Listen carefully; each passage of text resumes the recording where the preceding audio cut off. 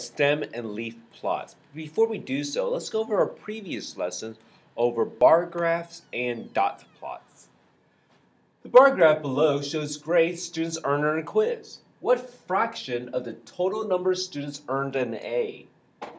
Eight students earned an A. Expressed in simplest form. Well, let's see the total number of students. Eight students earned an A, 10 students earned a B, 6 students earned a C, 3 students earned a D, 3 students earned an F. Let's add this up. 18 plus 6 is 24, 6 more, 30 students in all. 8 students earned an A. Express this in simplest form. That means 4 out of every 15 students, or 415 of this total, earn an A. So what is stem and leaf plots? So let's look at this. Seems like stem is on the left, leaf is on the right. It seems like there is a partition, a line here that separates the two values. Let's see. Ages, data, 3. Key, let's look at the key. 2 dash 5 means 25. From what I can tell, it seems like they split up the two place values the 2 and the 5. They split it up. The 2 is on the left, the 5 is on the right. How do you get the data from the stem and leaf plot? So I see a 41, they split up the 41 into two parts. I see a 43, they split up the 43 into two parts. I see a 45, they split up the 45 into two parts. So how do you get the data from there? From what I can tell, you have a number. You can use they seem like they split up the values. They seem like they put the tens place on the left side and the ones place on the right. So they're just splitting it up. And then to come to read it, you put them back together. It's like gluing them back together. Put the zero to three together makes three. Zero and eight together makes eight. Zero and nine together makes nine. Twenty-three right there. Two and seven 2 and 7, 2 and 7, 2 and 8, 2 and 9. 30, 30, 35, 36, 39. Yep, there's all the 30s. In the 40s, see we have 41, 43, 45. In the 50s, we have 53, 57, and 102. You put the 10 and 2 together, it makes 102. So how do you get it? You split the data. You split the tens place from the ones place. Or even the hundreds and tens place, you separate it from the units place the ones place. So, um, I'm not going to do this one. The STEM and leaf plot below shows students' test scores. You know what? Let's interpret the data. If I combine the 1 with the 8, 18, 23, 25, 30, 36, 42, 43, 44, 45, and 50. According to the plot, how many students are in the class? 1, 2, 3, 4, 5, 6, 7, 8, 9, 10 students. According to the plot, what is the maximum score? 50 is the, oh, these are test scores. They didn't do very well, did they? 50 was the maximum test score, unless it's 50 out of 50 questions. According to the plot, what is the minimum? 18 is the minimum. Minimum is another word for least, maximum ending. So, in case the question asked, I don't think it is. What is the range?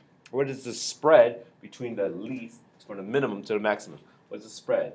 So you just subtract 50 minus 18. And I believe that is 4 minus 1. 32 is the spread.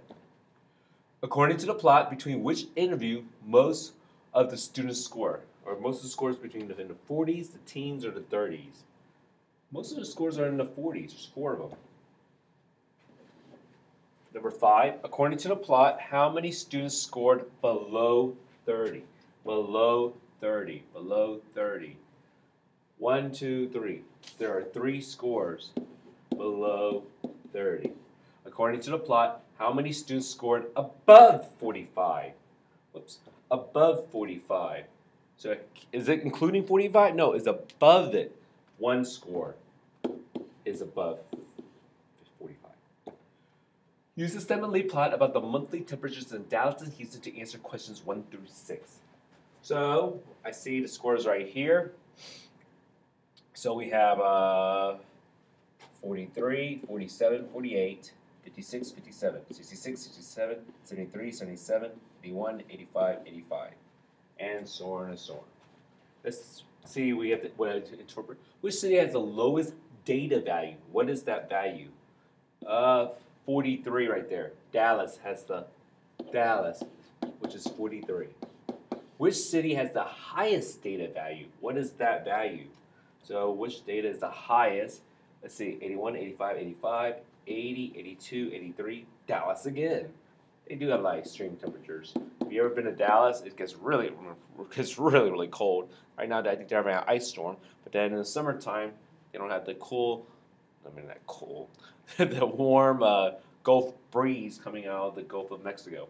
Which city temperature, temperature, which city's temperature data has a range of 30 degrees? Where is the spread of 33 degrees? Let's see. 43 is the minimum. 85 is the maximum. That is a spread of, whoops, 42 degrees. Nope. 83 is the maximum, 50 is the minimum. That is a spread of 30 degrees. So it must be Houston as a range of 33. That's the spread from the lowest to the highest. Next one, number 8. Which city temperature data has a median of 69? Okay, that's gracious. I'm going to do Houston first. 50, 54, 54. So as you see, I, to be honest, what I should have done is I should have written out all the data in the first place to have saved me time. But I did not do it. Now I have to pay for not doing that. So there are all the data. Let's find median is the halfway point. Cross out three to left, three to right, cross out one, one, one, one. What is the halfway point of 68 and 70? 69. So it must have been Houston. It's Houston. Uh, which city temperature data has a mode of 85? Mode is the number that occurs most often. I see no 85 here, so it got to be Dallas. And I'm not going to do the next one because I don't have a calculator with me. But if I had a calculator, find the mean monthly temperature for each city. So Dallas, I would get all these numbers from Dallas. I would add them all up, divide by 10. I would add up all the Houston numbers, and then divide by 10. Because remember, mean is average, is adding up all the numbers, dividing by 10, by how many numbers there are. And so uh, I, I do not know what the answer here is. All right, so let's answer some questions now. Um, I'm scratch out C. I don't care for the C. But I do like the other three. Which of the following statement is supported by the data shown in the plot? I see 37. I'm going to write it out. 37, 39, 40, 48, 50, 57, 59. There are no 60s, surprisingly. 70. I think they forgot to put that down. 77, 78. So again, how do you get this? You're combining the tens place to the ones place. You're gluing it back together. You need to draw like little, almost like distributed property, isn't it? All right. A. More months out of the year in temperature are warmer than 60 degrees. More months out of the year. So let's see. 3, 4, 5, 6, 7, 8, 9, 10. Oh, these are the months. So more months out of the year in Richmond are warmer than 60 degrees. One, two, three, four, five. No. That's half of a year is six months. This is less months. So it's not A. The mode for the monthly temperature is zero. Let's see, the mode is. I don't think there is a mode.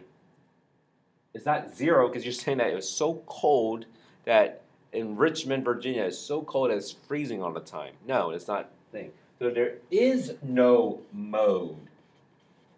So it's not B. There is.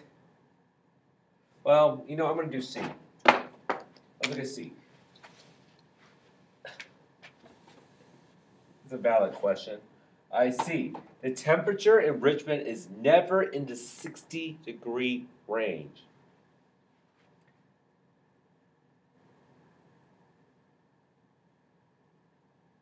True or false?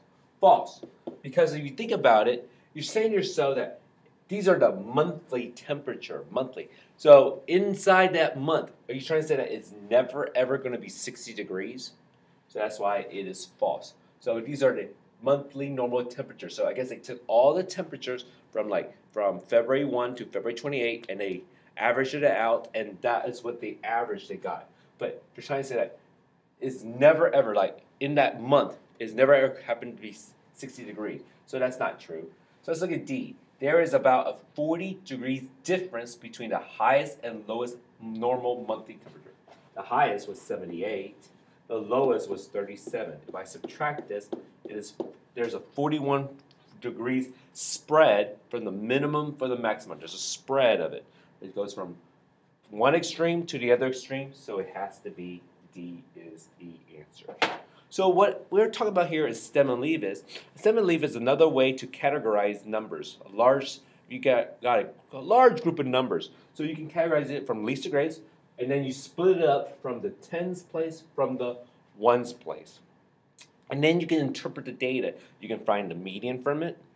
You can find a mode from it. You can find the range, the spread from the highest and the lowest. You can even find the mean from it. You can find all kinds of it. You can find how many uh, 40s there are, like like certain set of numbers, and from that stuff. So that's how you can interpret data from a stem and leaf plot.